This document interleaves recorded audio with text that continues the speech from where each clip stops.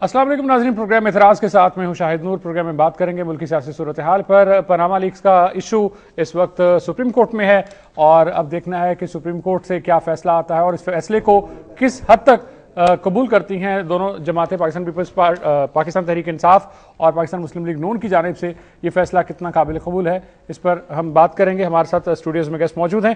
پاکستان تحریک انصاف کے رہنما شاہزید خان صاحب، جبکہ پاکستان پیپلز پارٹی کے سینئر رہنما غلام عباس صاحب اسٹوڈیوز میں موجود ہیں۔ بہت شکریہ آپ دونوں مہمانوں کا۔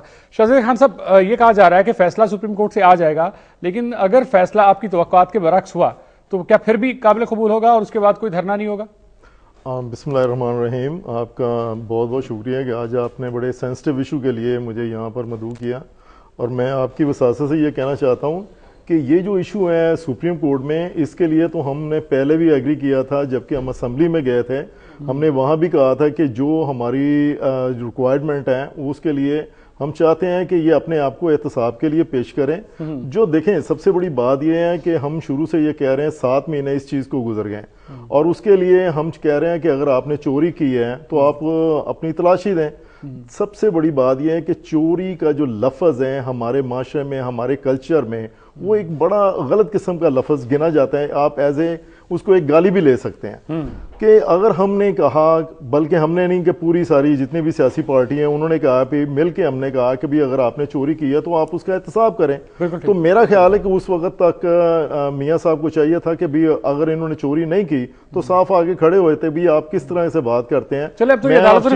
ہاں وہ دیکھیں ہم نے میں آپ کو ادھر ہی آ رہا ہوں کہ ہم نے اس چیز کا ایشو اسمبلی میں بھی اٹھایا۔ ہم نے اس کے لیے دوسری جماعتوں سے مل کے ہم نے اس کے لیے دوسری جماعتوں سے مل کے ہم نے اپنے ٹی آر کو بھی بات کی۔ لیکن دیکھیں ہماری کوئی بات کی کوئی سنوائی نہیں ہوئی۔ تو خان صاحب نے آپ کو میرا خیال ہے کہ میڈیا کو زیادہ بہتر پتا ہوگا مجھ سے بھی زیادہ پتا ہوگا کہ خان صاحب نے کہا تھا اسمبلی میں کھڑے ہوں کے کہ اگر ہماری سنوائی نہ ہوئی تو ہم۔ سڑکوں پہ آئیں گے۔ اب دیکھیں جب بات آئی سڑکوں کے اوپر تو پھر یہ اب پریشان ہو گئے۔ سب سے بڑی بات یہ ہے کہ جب ہمارے پرویز کھڑا صاحب وہ سی ایم ہے وہ الیکٹڈ سی ایم ہے ایک صوبے کے سی ایم ہے جیسے بات تو چلتی رہے گی لیکن کیا جو فیصلہ سپریم کورٹ کا آتا ہے وہ قابل قبول دیکھیں ہمیں سپریم کورٹ کا ہر فیصلہ نہیں نہیں دیکھیں ہم سپریم کورٹ ہماری وہ عدالت ہے پاکستان کی جوڈیشن میں سپریم کورٹ سب سے ہمارے لیے عزت کی عدالت ہے۔ ہمیں ان کا ہر فیصلہ منظور ہے۔ لیکن میں آپ کو یہاں یہ کہتا جاؤں کہ ہمیں جو بھی وہ فیصلہ کریں گے ہمیں منظور ہوگا۔ لیکن ہم نون لیگ کی طرح نہیں کریں گے۔ ہم سپریم کورٹ پہ حملہ نہیں کریں گے۔ جیسے کہ انہوں نے حملہ کیا۔ دیکھیں پارٹی کی حیثیت سے ہمیں ہر فیصلہ ان کا منظور ہوگا۔ ٹھیک ہے۔ غلام باسب پیپلز پارٹی جب تحریک انصاف سڑکوں پر نکلتی ہے تو تب کہا کہ عدالتوں میں فیصلہ ہے عدالتوں میں جانا چاہیے یہ نہیں کرنا چاہیے۔ اور کافی میچورٹی کا مظاہرہ کیا۔ اب ایک بار پھر بلاول بھٹو صاحب بہت ایکٹیو ہوئے ہیں اور انہوں نے کہا کہ اب ہم ریلی بھی نکالیں گے اب ہم دھرنا بھی دیں گے احتساب بھی کریں گے۔ کیا اب آپ کے خیال میں سپریم کورٹ کو حق نہیں ہے کہ وہ فیصلہ کریں دیکھیے بات یہ ہے کہ پہلی بات تو یہ ہے کہ یہ جو پرویز ہٹک صاحب یہاں جلوس لے کر آئے تھے اس کے اوپر لاٹھی چارج نہیں ہونا چاہیے تھا۔ یہ ایک رونگ میسج تھا۔ میں سمجھتا ہوں کہ میاں نواز شریف جو ہے اس نے وفاق پر حملہ کیا تھا۔ اس کو یہ نہیں کرنا چاہیے تھا۔ ان کو آنے دینے چاہیے تھا۔ اور پرویز ہٹک صاحب کی طرف سے بھی کہ یہ پختونوں کی لڑائی ہے انہیں نہیں کہنا چاہیے تھا۔ یہ غیر ذمہ دارانہ بات تھی۔ اور جو گرفتاریاں ہوئیں وہ بھی غلط تھا۔ یہ باتیں اپنی جگہ پہ بالکل درست ہیں۔ جہاں تک سپریم کورٹ کے فیصلے کا تعلق ہے۔ میں سمجھتا ہوں کہ خان صاحب نے امیچورٹی کا مظاہرہ کیا ہے۔ یہ بیفور ٹائم آپ نے کیا دیا کہ جی ہمیں تشکر ہے ہمیں یہ ہے۔ سپریم کورٹ کے ہمارے سامنے کئی فیصلے نظریہ ضرورت کے بھی ہیں۔ سپریم کورٹ کے فیصلے سے ذوالفقار علی بھٹو کو پھانسی بھی لگی۔ بعد میں نسیم حسن شاہ نے کہہ دیا کہ ہمارے اوپر بڑا پریشر تھا جس کی وجہ سے ہم نے پھانسی دی۔ سپریم کورٹ کا فیصلہ ظفر علی شاہ کے کیس میں بھی موجود ہے۔ کہ جس میں اس نے نظریہ ضرورت کے تحت جنم مشرف کو کانسٹیوشنل امینڈمنٹ کی بھی اجازت دے دی۔ ہم توقع رکھ سکتے ہیں کہ سپریم کورٹ کے موجودہ جج صاحبان بہتر فیصلہ کریں گے جو ہم توقع رکھ سکتے ہیں اور ہمیں توقع رکھنی چاہیے۔ مگر یہ پہلے ہی کہہ دینا کہ جی یہ بالکل ٹھیک ہے۔ اگر یہ خدا کرے خدا کرے۔ صاحب کہتے رہے کہ ہمیں کسی ادارے پر اعتماد نہیں ہے پارلیمنٹ پر اعتماد نہیں ہے سپریم کورٹ پر اعتماد نہیں ہے لیکن اس کے بعد اب انہوں نے ایک اچھا جیسچر دیا میں کہہ رہا ہوں کہ میں کہہ رہا ہوں کہ اعتماد کیا ہے اعتماد کرنا چاہیے ہر ادارے پر کرنا چاہیے اعتماد کریں گے تو آگے بڑھیں گے۔ جی۔ بات بالکل درست ہے۔ مگر فیصلہ آنے سے پہلے ہی یوم تشکر کہہ دینا۔ میں سمجھتا ہوں کہ اس میں تھوڑی سی جلد بازی سے کام لیا گیا۔ لیکن فیصلہ آنے سے پہلے آپ کی جانب سے بھی جو اسٹریٹجی سامنے آ رہی ہے نا کہ ہم نواز شریف کے خلاف ریلی بھی نکالیں گے میری بات میری بات سارا کچھ کریں گے۔ کیا اب سپریم کورٹ کے فیصلے عمران خان نے اپنی ساری اسٹریٹجی بدل دی تو آپ لوگ بھی بدل دیں سپریم کورٹ کے فیصلے پر اس کو آمین کریں۔ میری بات سنیں بات یہ ہے کہ میں تو پالیسی ساز ادارے میں نہیں ہوں پارٹی میں ٹھیک ہے؟ یہ تو پالیسی ساز ادارے کا ایشو ہے۔ میں تو ایک پولیٹیکل ورکر کے طور پہ آپ سے ایز انالسٹ بات کر رہا ہوں۔ جی۔ میرے خیال میں کہ میاں صاحب نے کہ جو موجودہ گورنمنٹ ہے جتنی لوٹ مار ہوئی ہے یا جتنی یہاں تک لوٹ مار ہوئی ہے۔ اور جہاں تک یہ کمپرومائزز آتے ہیں پیپلز پارٹی کے اندر بھی وہ قوتیں موجود ہیں جنہوں نے لوٹ مار کی ہے۔ اور وہ میں اکثر کہتا ہوں کہ مساق جمہوریت کو مساق جمہوریت تک رہنے دیں مساق کرپشن مت بننے دیں۔ کئی ایشوز کے اوپر ہمارے جو قائدین ہیں وہ بھی اپنی نیب سے جان چھوڑانے کے لیے انہوں نے بھی الائنسز بڑھائے ہوئے ہیں۔ میں میں بالکل اس میں کرٹک ہوں پارٹی کے اندر بھی۔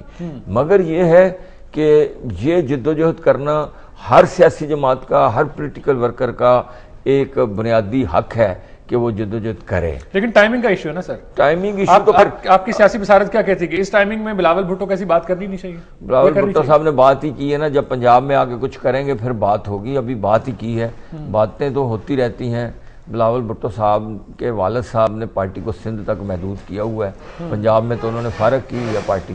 پنجاب میں تو وہ میاں نواز شریف کے ساتھ ہیں۔ یہی اختلاف ہے پنجاب کے ورکر کا ان کے ساتھ پنجاب کے اندر کھل کے اور کھل کے بات کریں۔ ٹھیک ہے۔ تو یہ یہ ایشو نہیں جب یہاں پر لیکن آپ سمجھتے اگر ایسا ہی یہی اسٹریٹجی آپ کی لیڈرشپ کی رہی تو جو سارا گیپ ہے یہ پی ٹی آئی فل کر رہی ہے پنجاب میں۔ دیکھیں میری بات سنیں وہ گیپ جو اس لیے میں بنیادی طور پر سمجھتا ہوں کہ Pakistan has become leaderless nation now Pakistan کے جو مسائل ہیں وہ بہت زیادہ مسائل ہیں۔ پناما لیگ کے اوپر ایشو کے اوپر بات ہو رہی ہے۔ کیا پناما لیگ کے اوپر ان جرنلز کو بھی بلایا جائے گا جو پناما لیگ میں شامل ہیں۔ صحیح۔ پناما لیگ میں تو ہائی کورٹ کا ایک جج بھی شامل ہے۔ سول اور ملٹری بروکریسی کے لوگ تمام سیاسی جماعتوں میں بیٹھے ہوئے لوگ موجود ہیں۔ پی ایم صاحب کو بلایا جائے گا پھر تو کوئی بھی استثناء کسی کو بھی نہیں خدا کرے ایسے ہو ہماری یہ خواہش ہے کہ یہ ہو۔ جی۔ یہ ہماری خواہش ہے کہ یہ اکاؤنٹیبلٹی ہو۔ اور یہ اکاؤنٹیبلٹی پاکستان کے اندر صرف اس ملک کے غریب لوگوں کی اکاؤنٹیبلٹی کی حکمران طبقوں کی کبھی اکاؤنٹیبلٹی نہیں ہوئی۔ کاش اس ملک میں حکمران طبقوں کی اکاؤنٹیبلٹی ہو۔ یہی مطالبہ ہے پاکستان کے عوام کا۔ وہ طبقے تو ماورا ہیں ان تک تو مثال پچھلے دور میں رہی ہے۔ پہنچتا ہے۔ یوسف رضا گلانی صاحب کو گھر بھیجا گیا ایک اکاؤنٹیبلٹی تھی۔ گلانی صاحب کو اب اب کدھر گیا میاں شباز شریف جو کہتا تھا میں گسیٹوں گا میں پیٹ پھاڑ کے پیسے نکالوں گا؟ کدھر گیا وہ رینٹل کیس جو خواجہ آصف صاحب سپریم کورٹ میں لے گئے تھے رینٹل پاور کے خلاف اور اس کے اوپر انہوں نے وہی رینٹل کیس واپس لے لیا۔ وہ رینٹل پاور سٹیشن ویسے ہی چل رہے ہیں جو جو زرداری صاحب کے دور میں چل رہے تھے وہ بھی ویسے ہی چل رہے ہیں۔ اور وہ جن لوگوں کو ڈاکو چور علی بابا چالیس چور کہہ رہے تھے ان کے ساتھ بیٹھ کے اپنی حکومتیں بچا رہے ہیں۔ یہ سب انہوں نے فراڈ کیا ہوا ہے پاکستان کے عوام کے خلاف۔ صحیح۔ آپ سمجھتے ہیں ڈیل ہے ڈیل ہے پھر۔ میں آپ سے جو دیکھیں ڈیل ہو یا نہ ہو جو لوگوں کے رویے ہوتے ہیں عمال ہوتے ہیں ان سے بات سامنے آتی ہے۔ اگر ایسی بات نہیں تھی تو پھر رینٹل جی بات کو جاری رکھیں گے۔ اس وقت ہمارے ساتھ اسٹوڈیو ٹیلیفون لائن پر موجود ہیں۔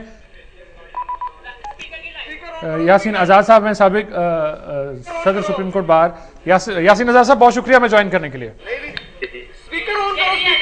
جی یاسین آزاد صاحب ہم بات کر رہے ہیں کہ اس وقت پاناما لیگز کا ایشو سپریم کورٹ میں ہے۔ اور یہ بھی ایک خدشہ ظاہر کیا جا رہا ہے کہ شاید اگر پی ایم ایل این کے مطابق فیصلہ نہ ہوا تو ان کو قابل قبول نہیں ہوگا اور شاید پاکستان تحریک انصاف بھی اعتراض کر سکتی ہے اگر فیصلہ ان کی توقعات کے مطابق نہیں ہوتا۔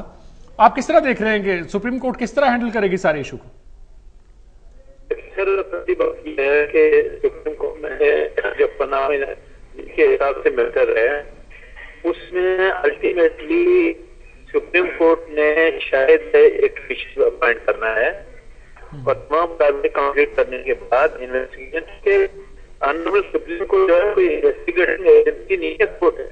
ٹھیک ہے۔ اور کورٹ میں دیکھنا یہ ہے کہ فائنلی کے حساب سے چونکہ آپ کو ایویڈنس ریکارڈ کرنی ہے۔ ایویڈنس ریکارڈ کرنے کے حساب سے سپریم کورٹ نے کوئی کمیشن بنانا ہے۔ اور پرائم منسٹر نے پہلے دن یہی سے کہا تھا کہ کمیشن بنا دیں میں اپنے آپ کو فیس کرنے کے لیے تیار ہوں۔ بالکل ٹھیک۔ اور پرائم منسٹر نے واضح طور پہ یہ کہا کہ اگر میرے خلاف کوئی چیز ثابت ہوتی ہے تو میں گھر چلا جاؤں گا اب جو کنڈکٹ ہے جو ادر پارٹی ہے کنڈکٹ اس پہ دیکھنا پڑے گا کہ کل آنریبل سپریم کورٹ اگر ان کے خلاف کرتی ہے تو اس کو ایکسپٹ کرتے ہیں یا نہیں کرتے۔ پرائم منسٹر کے پاس کوئی آپشن نہیں ہے کہ اگر سپریم کورٹ کل کوئی ڈیسیزن دیتا ہے تو وہ اس کو ایکسپٹ نہ کرے میں نہیں مانتا اس بات کو۔ کیونکہ انہوں نے جو اپنی پہلے دن کی جو اسپیچ کی تھی اس میں بھی یہ بات کہی تھی کہ اگر میرے خلاف کوئی چیز ثابت ہوتی ہے تو میں گھر چلا جاؤں گا۔ ٹھیک ہے۔ سر یہ اس فیصلے کی۔ امپلیمنٹیشن کو انشور کون کرے گا؟ ریپلائی شروع ہو گیا ہے ڈیٹیل سے اور پرائم منسٹر کے خلاف تو ڈائریکٹ کوئی افیئر کمپنی ہے نہیں۔ ان کے بچوں کی ہے۔ ریکارڈ جب کورٹ ریکارڈ پہ آئے گا تب جا کے پتہ چلے گا ٹھیک ہے۔ کہ کون سی پولیٹیکل پارٹی کون سے سینڈ کرتی ہے نہیں ٹھیک ہے۔ یاسین صاحب میرا سوال یہ ہے کہ اگر کوئی فیصلہ آتا ہے حکومت کے خلاف تو اس کی امپلیمنٹیشن کو انشور کون کرے گا؟ کہ واقعی انشور ہو جائے گا؟ نہیں آپ یہ بتائیں کہ جب یوسف رضا گیلانی صاحب کے خلاف آپ نے کنٹمپٹ پروسیڈنگ کی اور وہ گھر گئے یا نہیں گئے؟ بالکل گئے بالکل گئے۔ ہاں گئے۔ اب پرائم منسٹر میں نہیں سمجھا کہ پرائم منسٹر صاحب نے جب اپنے پہلے دن کی اسپیچ میں ایک چیز بالکل واضح کر دی تھی یہ کمیشن تھا اگر اسی دن جس دن پرائم منسٹر نے اسپیچ کی اگر اپوزیشن ایکسپٹ کرتی تو یہ معاملہ تو خود میں چلا جاتا۔ کہ آپ کے سات آٹھ مہینے بیکار بچے نہیں جاتے؟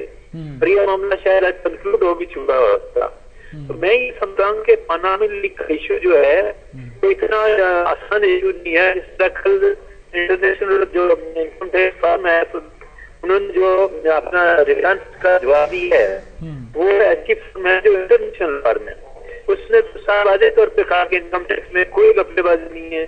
ہر چیز واضح طور پہ لکھی گئی ہے۔ اور انہوں نے اپنی اپوزیشن کو بھی ایکسپلین کیا۔ اب ڈپینڈ کرتا ہے صرف پرائم منسٹر کے دو بیٹوں کا ان کا رپلائی کیا آتا ہے۔ کیونکہ ان کی بیٹی کا رپلائی تو میرے خیال میں ریکارڈ پہ آ گیا۔ ان کے دو بچوں کا رپلائی ریکارڈ پہ آیا یا نہیں آیا۔ تک مجھے اس کا اندازہ نہیں ہے۔ ٹھیک ہے۔ لیکن میرے نزدیک لیگ کا ایشو جو ہے وہ اتنا اس کو پروف کرنا بڑا مشکل کام ہے۔ اور میں تو ایک اس کے ریورس بات کرتا ہوں کہ اس ایشو سے بڑھ کر کشمیر ایشو تھا۔ ٹھیک ہے۔ آخر میں آپ سے یہ پوچھنا چاہوں گا کہ آپ کیا دیکھ رہے ہیں مستقبل میں۔ ٹھیک ہے۔ آپ مستقبل میں کیا دیکھ رہے ہیں؟ کوئی ایسا خدشہ تو نہیں ہے- کہ اداروں میں ٹکراؤ آ جائے سپریم کورٹ ہے اور پھر گورنمنٹ ہے؟ بالکل نہیں کوئی ٹکراؤ ہوگا۔ سپریم کورٹ نے بھی وہی کرنا ہے کے وہ پہلے کیا کیا کلیئر بنانا ہمارا کام نہیں ہے۔ اگر پولیٹیکل پارٹیز میں اگریمنٹ نہیں ہاں اندر سپریم کورٹ ڈائریکشن دے سکتا پارلیمنٹ کو کہ آپ کی بات کمپلیٹ کر یہ ہم آپ کو بھیج دیں ان کو فائنل اپروو کر لیں۔ تو سپریم کورٹ ڈائریکشن کو پارلیمنٹ اوبے کرے گی جی۔ وہ اپنی قانون سازی کر کے واپس بھیج دیں کمیشن بنا لیں ایویڈینس لے کر لیں۔ اگر آپ اس پوزیشن میں ثابت کرتے نہیں ہیں تو لوگ کہہ لیں کیونکہ معاملہ سب جوڑ ہو گیا سپریم کورٹ میں۔ ٹھیک ہے ہر بات سپریم کورٹ نے ڈیسائیڈ کرنی ہے۔ اور میں یہ سمجھتا ہوں کہ سپریم کورٹ جو بھی کام کرے گا بالکل ٹھیک ہے۔ بہت شکریہ آپ کا یاسین آزاد صاحب ہمارے ساتھ بات کرنے کے لیے۔ سابق صدر supreme court bar Yasin Azad صاحب ٹیلی فون لائن پر موجود تھے۔ انہوں نے کہا کہ سپریم کورٹ کا جو بھی فیصلہ آئے گا وہ آئین اور قانون کے مطابق ہوگا، وہی سب کے لیے قابل قبول ہونا چاہیے۔ دوسرا، انہوں نے کہا کہ سپریم کورٹ کا کام ہے ایویڈنسز کی بنیاد پر ایک فیصلہ دے دینا کمیشن تشکیل دے دینا۔ اب اس کے بعد کیا صورتحال نکلتی ہے؟ اس پر امپلیمنٹیشن ہونی چاہیے۔ سابق دور میں بھی ہوئی، اس دور میں بھی ہونی چاہیے۔ جی شاہزاد خان صاحب، آپ دیکھ رہے ہیں کہ جو یوسف رضا گیلانی صاحب کے ساتھ ہوا وہ بھی اس دور میں ہو سکتا ہے یا اس لیول کی امپلیمنٹیشن ہو سکتی ہے؟ یا ایک ریئیکشن آئے گا آپ کے خیال میں؟ دیکھیں سب سے بڑی بات یہ ہے کہ ہمارا پورا اعتماد جو ہے نا وہ سپریم کورٹ پہ ہے۔ اسی لیے ہم نے دیکھیں سپریم کورٹ نے فیصلہ کر دیا۔ اب ہاں جی۔ امپلیمنٹیشن کون کروائے گا؟ امپلیمنٹیشن ہی سپریم کورٹ نے کرنا ہے۔ اس کی وجہ یہ ہے کہ جو آرڈر انہوں نے کرنا ہے وہ ہمیں بھی منظور ہے وہ ان کو بھی منظور ہے۔ ہے۔ دراصل بات یہ ہے کہ سپریم کورٹ ہمارا ایک ایسا ادارہ ہے انہوں نے اپنے ایک لا کی اکارڈنگ ٹو جو ان کا لا ہے اس حساب سے فیصلہ کرنا ہے۔ انہوں نے جبکہ پہلے بھی جائز صاحب نے کہا کہ مجھے نہ نون لیگ سے کچھ لینا ہے نہ پی ٹی آئی سے کچھ لینا. میں میں وہ فیصلہ کروں گا جو ملک کے لیے بہتر ہے۔ دیکھیں آپ کو پتا ہے سپریم کورٹ جو ایس جو ادارہ ہے اس نے اس کو اسی حساب سے لے کے چلنا ہے جس کی وجہ سے ملک کے اندر خانہ جنگی نہ ہو۔ جیسے حالات پیدا کر دیے تھے انہوں نے۔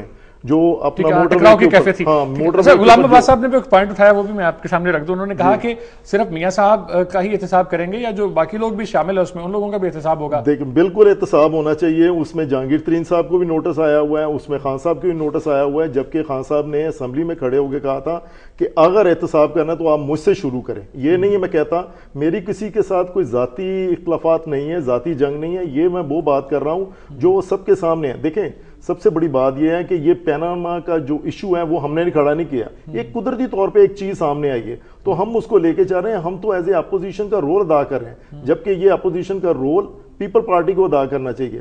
ہم عوام کی آواز کو لے کے چل رہے ہیں۔ عوام کی آواز اٹھا رہے ہیں۔ مجھے یہ بتائیں اس چیز میں ہمیں کیا فائدہ ہے؟ ہم۔ یہ نہیں کہہ رہے کہ ان کی آج ہی گورنمنٹ گر جائے. ہم تو یہ کہتے ہیں اپنے آپ کو احتساب کے لیے پیش کریں. اگر آپ غلط ہیں تو آپ ریزائن کریں. اس کے لیے آپ ڈیون کیمرون کا آپ دیکھ لیں لنڈن کا دیکھ لیں آئس لینڈ کا دیکھ لیں.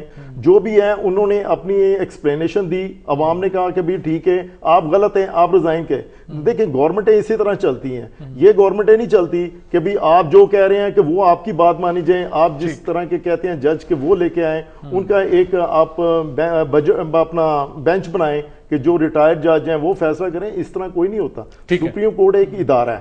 سپریم کورٹ کا وہ ادارہ ہے جس کی بہا پہ ہم نے آپ کو پتا ہے کہ ہم نے لاک ڈاؤن کی کال دی ہوئی تھی آ، دو نومبر کو۔ لیکن انہوں نے پانچ دن پہلے اسلام آباد بند کر دیا۔ جس میں ایک بچی وہ مر گئی۔ کیوں؟ وہ اس کو ہاسپٹل ہی نہیں پہنچنے دیا۔ آپ کے ورکرز کی موومنٹ تھی نا ان کو- نہیں موومنٹ تھے۔ دیکھیں چلے موومنٹ تھی وہ ہم نے موومنٹ جو اس کے لیے ہم نے ڈیٹ دی ہوئی تھی کہ دو نومبر کو ہم لاک ڈاؤن کریں گے۔ سب سے پہلے مجھے یہ بتائیں کہ لاک ڈاؤن یہ جو لفظ استعمال کر رہے ہیں لاک ڈاؤن کے میں نہیں وہ تو ٹوٹلی غلط ہے ہم تو یہ کہہ رہے تھے لاک ڈاؤن ہوگا کہ اتنے لوگ آ جائیں گے تو آٹومیٹکلی ہر سسٹم جو ہے نا وہ بند ہو جائے گا۔ ہم نے جا کے ان کے جو آفس ہیں یا ادارے ہیں ان کو تالے تھوڑی لگانے تھے۔ ہم تو ایک چیز کو لے کے چل رہے تھے۔ اور یہ ہم سمجھتے ہیں کہ ہماری بہت بڑی خوش قسمتی ہے کہ سپریم کورٹ نے اس چیز کو ہینڈل کر لیا اور انہوں نے کہا کہ جو میں فیصلہ کروں گا وہ آپ کو ماننا پڑے گا۔ اور۔ ہم نے خان صاحب نے اپنی جو یہ کال تھی وہ انہوں نے اپنا جو کینسل کر دی۔ اس میں اس کے ساتھ میں آپ کو ایک بات بتاتا ہوں کہ سپریم کورٹ نے کہا ہے کہ مجھے پندرہ نومبر سے پہلے پہلے ڈاکومنٹ چاہیے۔ دیکھیں ایک چیز ہوتی ہے سچ ایک چیز ہوتی ہے جھوٹ۔ انہوں نے شروع سے سات مہینے سے جھوٹ بول رہے ہیں۔ دو ہزار میں آپ کی تھوڑی سی انفارمیشن میں اضافہ کروں بلکہ آپ مجھ سے زیادہ جانتے ہوں گے۔ دو ہزار تیرہ میں جب انہوں نے نومینیشن کے لیے پیپر جمع کرانے تھے تو اس میں انہوں نے دو کروڑ اڑتالیس لاکھ اکوینجا ہزار کے اثاثے ظاہر کیے۔ مریم نواز کو اپنی ڈپینڈنٹ ظاہر کیا۔ اسی پر مزید بات کریں گے شاہزاد خان صاحب۔ فی الوقت بریک کا ناظرین بریک کے بعد گفتگو کا سلسلہ جاری رہے گا ہمارے ساتھ۔